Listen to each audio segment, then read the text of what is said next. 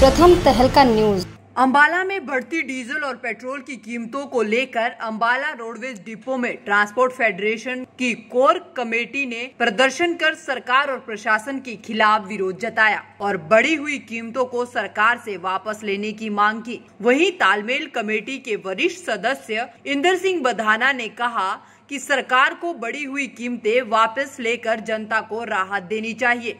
उन्होंने कहा कि इस तरह के प्रदर्शन पूरे देश भर में हो रहे हैं और साथ ही सब जगह परिवहन मंत्री और पेट्रोलियम मंत्री को ज्ञापन भी सौंपे जा रहे हैं। आज जो ये प्रोटेस्ट हो रहे हैं, पूरे प्रदेश में ये दो घंटे के प्रोटेस्ट हैं और पीछे भी हम तेल की जो लगातार कीमतें बढ़ रही हैं, उन पर एक प्रदर्शन कर चुके हैं और आज उनका ज्ञापन जो है पेट्रोलियम मंत्री के नाम दे चुके हैं।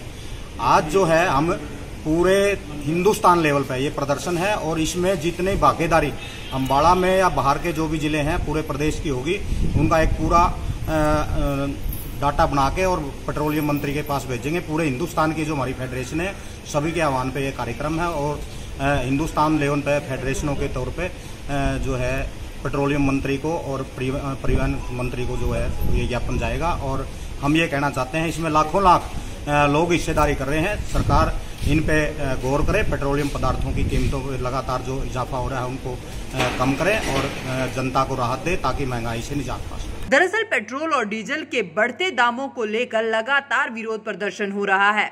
और सरकार से लगातार बढ़ी हुई कीमतों को वापस लेने की मांग की जा रही है। वहीं इस कड़ी में अंबाला में भी विरोध प्रदर्शन किया गया और सरकार के खिलाफ जमकर नारेबाजी की गई। फ़िलहाल देखना होगा कि सरकार पेट्रोल और डीजल के बढ़े हुए दामों को वापस लेती है या नहीं। प्रथम तहलका के लिए अम्बाला से ब्यूरो रिपोर्ट।